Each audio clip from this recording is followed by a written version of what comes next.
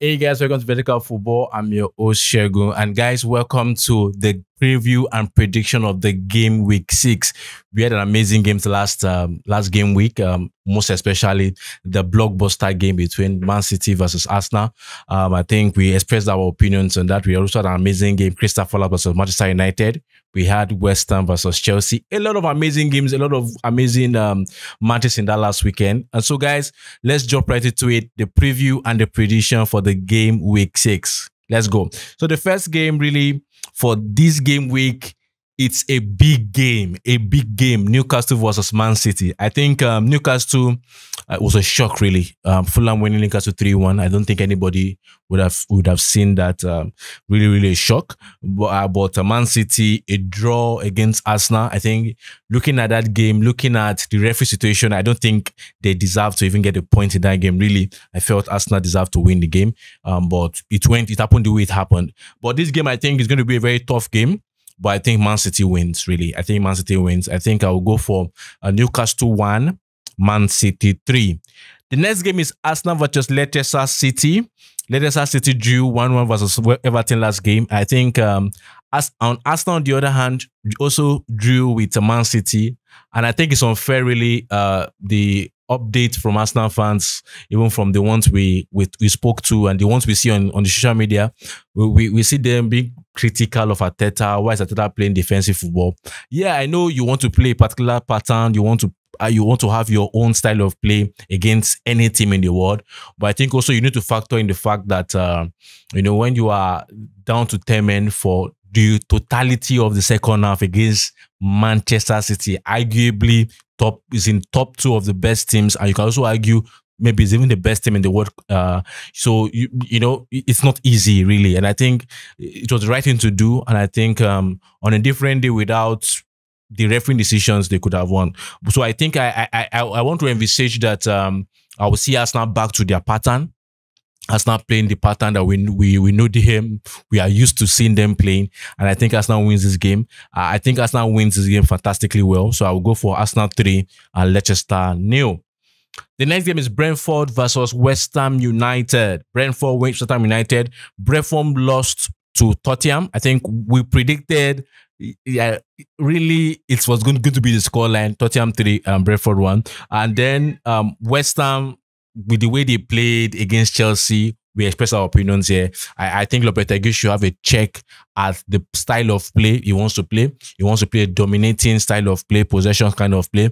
And once you're missing teams that have the ability to stay on the low block and hit on the counter attack, it's really difficult because West Ham don't have the players with legs. And I think we could see that um, against Chelsea. I think now also it's a bigger test really because Brentford is one of the best teams in sitting down in the low in the low block and eating on the counter attack. They are very good on that. I think it's going to be a litmus test to Lopetegui.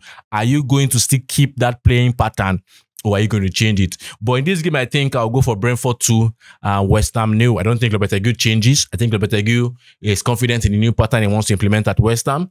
Um, but I think also he needs to factor in the kind of players he has. But I don't think he, he would he would do that. I think he's, he's going to go the same way he went against Chelsea. And I think they're going to lose um, that game two goals to nil. So Brentford 2, West Ham nil. Chelsea versus Brighton. Chelsea won comfortably against West Ham. And Brighton drew 2-2 to Nottingham Forest oh, amazing. Uh, shocking result, really. Shocking result, but amazing result for Nottingham Forest. I think it's going to be a draw also in this game. I think I'll go for the same scoreline 2 2.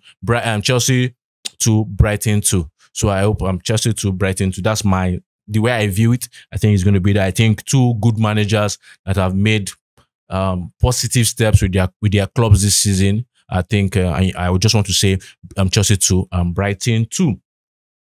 Everton was a Crystal Palace. Everton drew to Leicester City. I think we predicted 1-0, but uh, it was a draw. Um, then Crystal Palace, Crystal Palace, Crystal Palace drew 0-0 to Manchester United.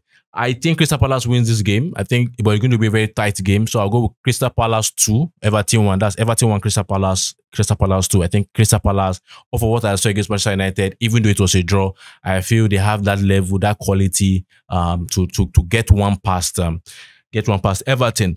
Nottingham Forest versus Fulham. Interesting game. Fulham had an amazing result against Newcastle. Nottingham Forest had a decent and amazing result against Brighton. So it's going to be a very, very tough game. I'm of, I'm of the opinion that Fulham, Fulham, right from the first game of the season against Manchester United, I said this team has something uh, that I really like. Uh, this team has something I like, and I think um, Marco Silva is a decent coach, a decent coach, um, stabilized coach, understand the Premier League really, and I think um, Nottingham Forest um, with Steve Cooper, I think is, okay, but I think um, Fulham I think Fulham wins this game. I think uh, Fulham wins 2-1. So I'll go Nottingham Forest 1, Fulham, Fulham 2. Then the last game on Saturday is Wolves versus Liverpool. Liverpool, Liverpool, Liverpool.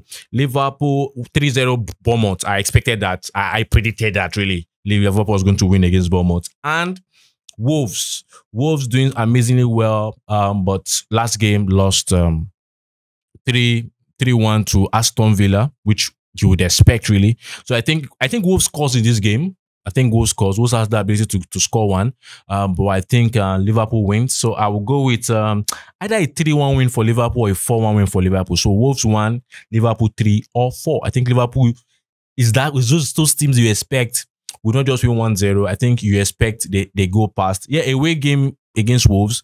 I know under Jurgen Klopp, I think the last two seasons, Wolves was always a tough opposition for Liverpool, but I think Liverpool wins this game. I think Liverpool wins. I'm tending towards four, but I think either 3 1 or 4 1 for Liverpool. Then on Sunday, we have amazing games. Ipswich versus Aston Villa. Ipswich drew 1 1 to Southampton, even though we predicted that Southampton was going to win 1 0. Um, Ipswich is really, really showing that come on, you can't, you can't, you can't push us aside. We are also in the game. But against Aston Villa, I think Ipswich loses this game. But I think they score. I think Ipswich score. I'm having the feeling Ipswich score, but I'll go for Ipswich one, Aston Villa three or four also, but I'll go for four. So Ipswich one, Aston Villa four. Then the big game, big big game, Manchester United versus Spurs. I, I I don't really know what to say really. Um, Erik Ten Hag, you know, disappointment after disappointment for Manchester United fans, really. Um, I think two draws prior to this match against Spurs, a draw against Crystal Palace, a draw against Twente. I think this game, Erik Hag has to step up. Manchester United has to step up. I think it's not just enough to have possession passively. I think you need to do something tangible with the possession. Um, this game, I expect, I hope and expect that Manchester United has that intensity. I, I really want to see the front foot press. I really want to see them disturb, you know, this Old Trafford, go at Spurs, you know, press them, make, make them commit errors. And I think they do that, they could easily win against um, Chelsea. But I think against Spurs, sorry. But I think um, looking at it, uh, I want to say I want to be turning towards a Manchester United win 1-0. Um, that's if they do the front foot press and everything. But also, another mind is saying they lose 3 1 to Spurs. So either 1 0 Manchester United win or Spurs 3 1. But the way I'm looking at it, looking at Ten Hag, I think Ten Hag should not start the midfield of Mainoo and Eriksen. Use Mainoo Ugarte. You have to use Mainoo Ugarte. I think these kind of these are the kind of games you want Mason Mount to start. These are the kind of games you want Højlund to start. So I think if he if he gets those things right, I I, I think they could easily win. But if he decides to use Zexi, decides to use Eriksen, Mainoo, I think they lose really. So for me, uh, so that it's not be like as if I'm trying to be positive towards Manchester United. Or let's say Manchester United loses 3-1 to Spurs. The last game of the game week, Bournemouth versus Southampton.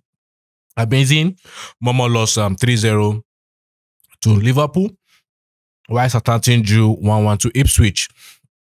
I think it will be an exciting game, really. But because, but I think Bournemouth wins, really. I think Bournemouth come, comes off of that um, defeat against Liverpool, and I think they win. I'll go for a 2 1 win for Bournemouth. Bournemouth 2, Southampton 1. So, guys, this is my own uh, prediction on the game week 6 of the English Premier League. As usual, I know you have your own opinions on who wins and what scoreline. So please don't forget, drop that, drop your own opinions in the comment section. And guys, don't forget to like, don't forget to subscribe, and most importantly, don't forget to share this video. And thank you very much, guys. We see you at the end of the game week in our uh, five things we learned and our reactions to, to the two particular games. So don't forget to stick with us through this weekend for exciting content. Thank you very much, guys, and see you. Bye.